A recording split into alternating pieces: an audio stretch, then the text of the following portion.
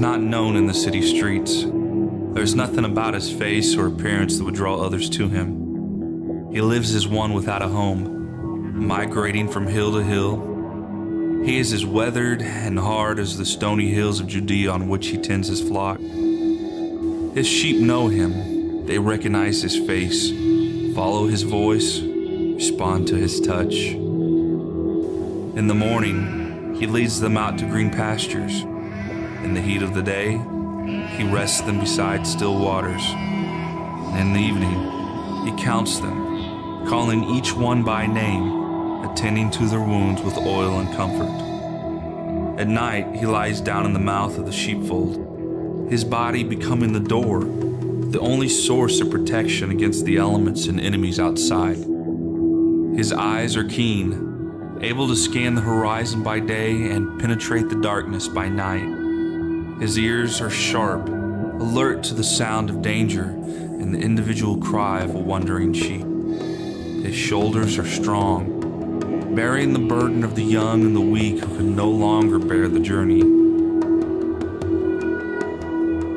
It is to him the angels come. It is to him the message is given, and he responds. Through the little town that knows not his name, from house to house he moves, bearing the burden of love, willing to share it with those who will listen. A Savior has been born, a shepherd who will give his life for his sheep, a lamb who will give his life for the shepherds. For the child of the stable is the shepherd of love.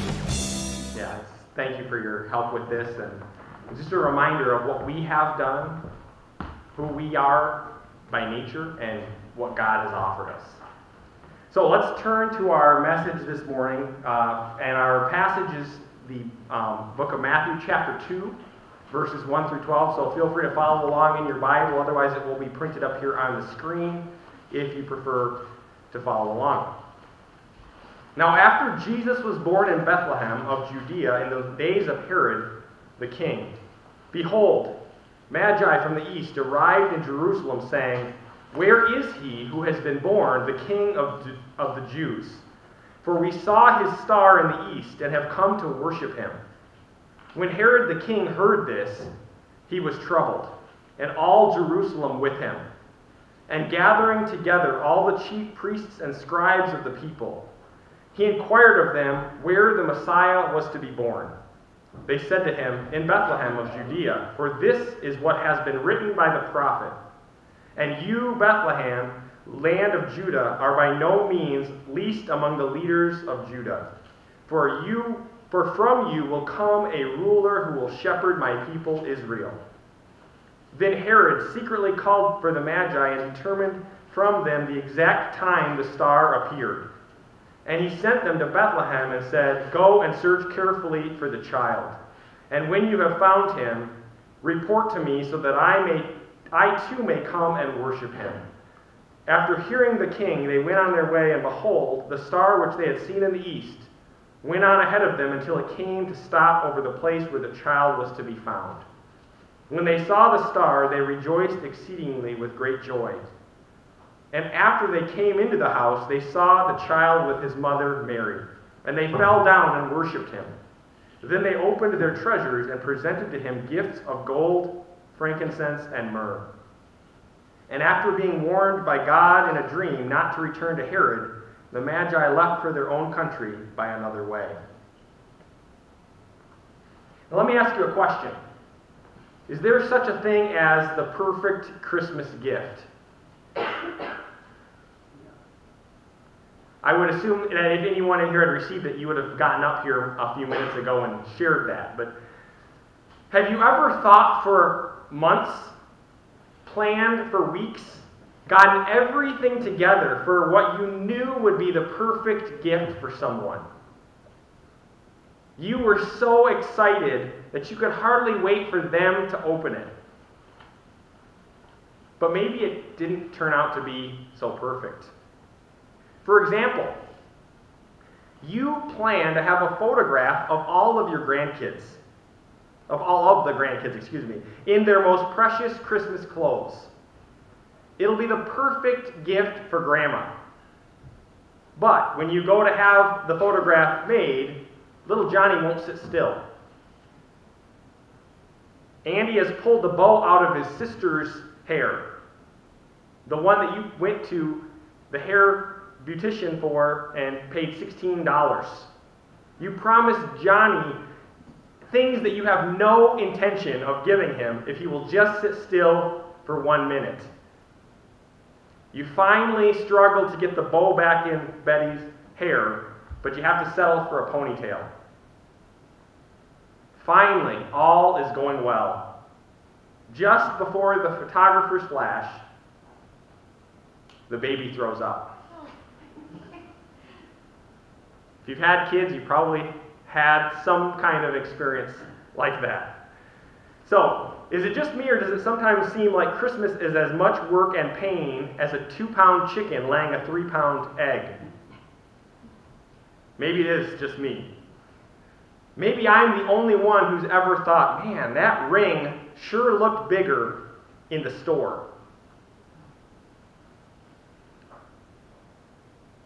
Or you look at the things that you give to your spouse and you think, it doesn't look like much stuff now, but it sure seemed like a whole lot when I was paying for it. Maybe I'm the only one who's ever walked through the mall four times still having no clue what to buy. Maybe I'm the only one who's been promising for the last 10 years next year I'm going to start shopping before December. How do you know when you find the perfect gift? What requirements does it have to meet? Does it have to have a certain carat weight? Does it have to come from a particular store or have a specific designer's name on it? Also, who decides the perfect gift? Is it the giver or the receiver? So, this morning I want to talk to you about the perfect Christmas gift. Now, you're sitting there thinking, I just spent some time telling you that I have no idea what the perfect gift is, and now I'm going to preach about it? That seems a little bit like asking Napoleon to pontificate about the dangers of being tall, or LeBron James being uh, told to, to give a seminar on how to survive with a limited income, or Bill Clinton on honesty. Before you get testy and negative, I want you to know that I am not speaking from personal experience or of my own wisdom. I have expert advice in determining what the per- perfect gift is. So, who is my source? It's God. Now, you may be thinking the Bible doesn't say anything about choosing the perfect gift. Maybe you've been hunting these last few Decembers trying to figure it out. But Scripture does give us great guidelines about what we have to learn from the Master. There are four principles that we can learn from examining God's perfect gift, perfect present from in Jesus Christ. And so my sermon in a sentence this week is this. The perfect presents of Jesus is found in the presence of Jesus. The first thing, the first component of the perfect present is this the perfect gift is a personal gift. In John 3:16 we read for God so loved the world that he gave his only begotten son. Now, you could be like me in many years and wait until the last minute possible before you buy your wife a gift. But when she opens it up and sees that it is a team logo, refillable mug, she's going to know that you went to Walmart or somewhere the night before. And you can't fool her with that card when you scratch out happy birthday and wrote in Merry Christmas. If a gift is going to be appreciated, I see those smiles. I think there's people out there that have done it, right? uh, if a gift's going to be appreciated, it's got to be, if it's going to be a real bell ringer, if you want to get that response that you're looking for, it takes thought. It needs to take consideration of the person, their likes, their dislikes, their personality, their needs, their interests. I shouldn't just run to my closet Christmas Eve and pull out new hair clippers for Emily. I don't think she'd use those. A gift needs to be personal, reflecting their personality, or maybe giving them something of yourselves. Years ago, my dad, who was a teacher, but he also spent a majority of his lifetime working construction, he gave me a set of sawhorses. He knew that I needed them. He knew how I liked carpentry. Oh, by the way, they were handmade. He had poured his own sweat and labor in them. Now that is a personal gift. Of course, there may have been a little bit of selfishness in him. You see, my dad was tired of me borrowing his horses and sawing them in half. And when God sent his Christmas gift, it was personal. It was God's own personal son, his only son, the son that he loved. But it was more than that. It was God himself in the flesh. And it was tailor made for you personally. He came to die for your sins. He came to die for my sins. The sins that you personally committed. And he came to bring personal forgiveness, personal salvation, and personal peace. God didn't just pull an angel off the shelf and send it saying, Well, I just feel like I have to give them something. No. God spent time considering our personal needs, our sin, and our separation, thinking of the best way to save us. And he came up with this idea I will go to them personally and pay their price personally. Jesus was the perfect gift, and the perfect gift is a personal gift. Secondly, the perfect gift is a practical gift. In Romans chapter 3, and kind of combined with 623, for all have sinned and fallen short of the glory of God. And for that, the wages of sin is death. Now, nothing personal, please don't take offense to this, but what did the bald man say when he received a comb for Christmas? He said, Boy, when they handed out brains, you were in the back of the line, weren't you? For a gift to be any good, it has to be useful. It has to be something that the receiver would, would use, that they would like. The more useful, the better. So I could give my kids toys this year. That would be useful. But what I wouldn't give them is their own brand new set of sharp kitchen knives and a cutting board. Have you ever gotten a gift for someone so out of character, so unlike you that you immediately thought, or that you received, excuse me, that was so out of character for you that you thought, here's another one for the gift pile that I'll just give away at the earliest opportunity? One year I received this book. Now, don't get me wrong, I love books. But this one wasn't working for me. When God sent his perfect gift, it was practical. There was nothing more we needed. Now, in Romans 3 and Romans 6, verses 23 that we referenced a minute ago, it says, We had all committed sins. And the result of this was that it separated us from the love and mercy of God, and we were destined for hell.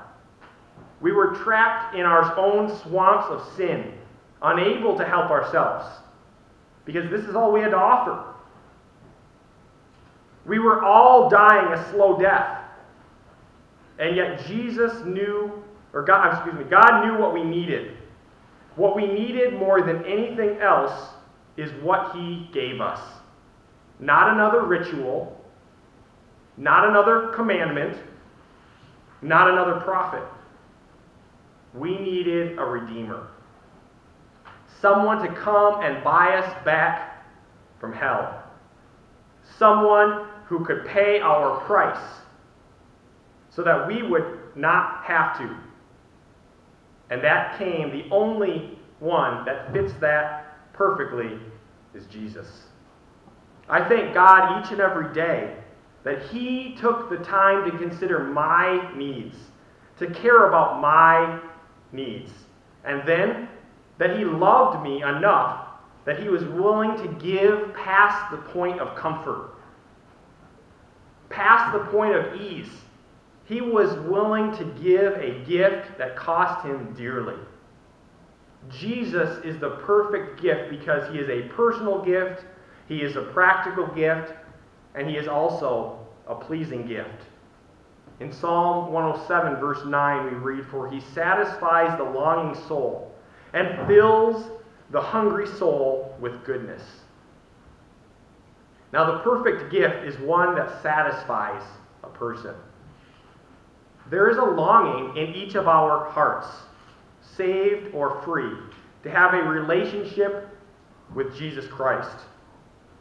Now, some have described this feeling as like a, we each have a God shaped hole.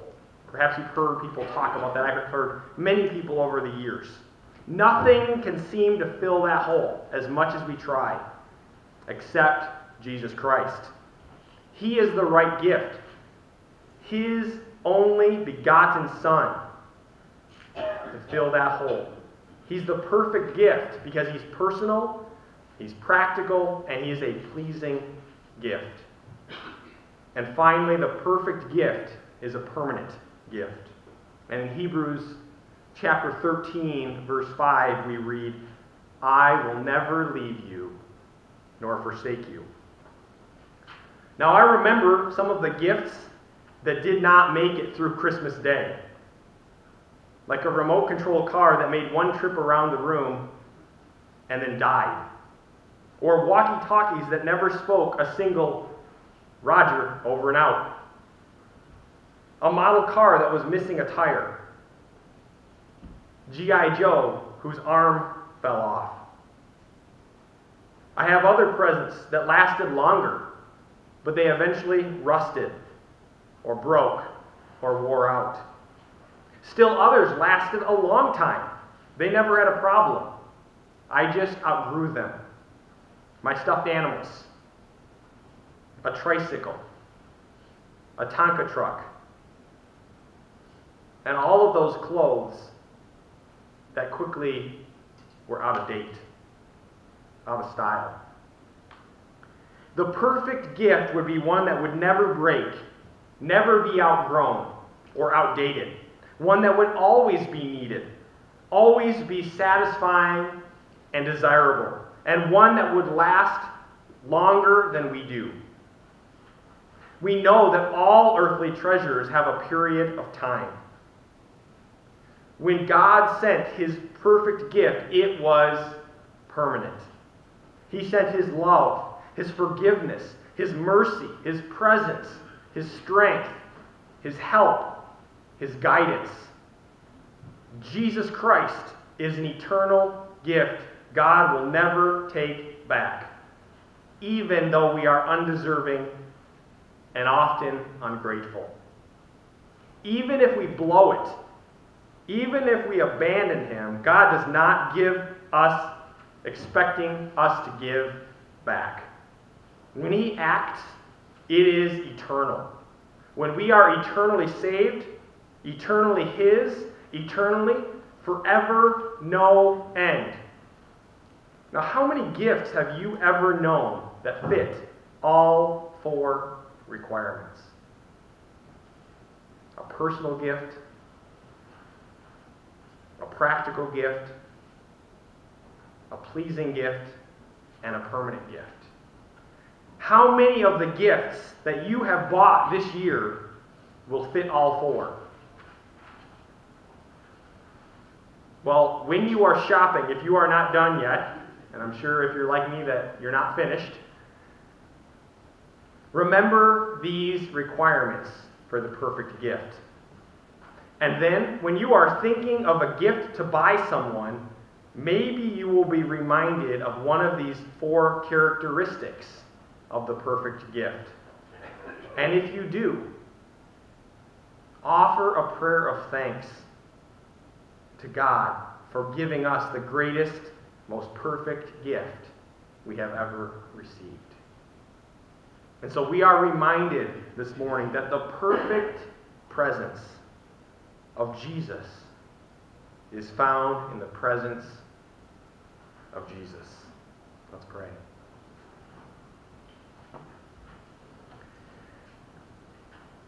Heavenly Father, we come before you this week of, of Christmas.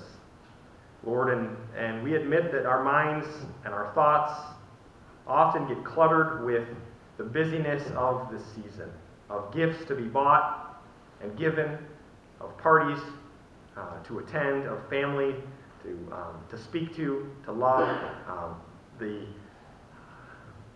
lights to be able to still go and, and see the thoughts and wonders that we see, the, the twinkling in the eyes of, of our kids and grandkids as we think about the presents that are to be unwrapped. And yet, Lord, too often we let this clutter get in the way of what the perfect gift was. Lord, help us this season to be reminded of the gift that you gave us through your Son. And Lord, that it is such a perfect gift that we can have and we can also share. Lord, help us not to cling too tightly to this gift and leave others looking in from outside. Lord, help us to share the truth of the gift of your Son and all that that entails.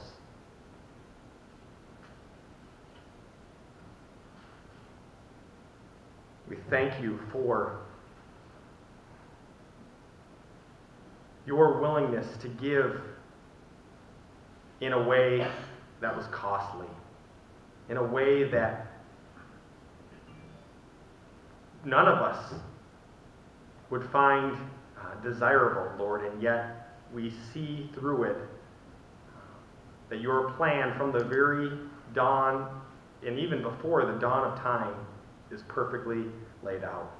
Help us to trust you in everything that we do. In your name we pray. Amen. Please stand for the benediction, and then we'll have our closing song.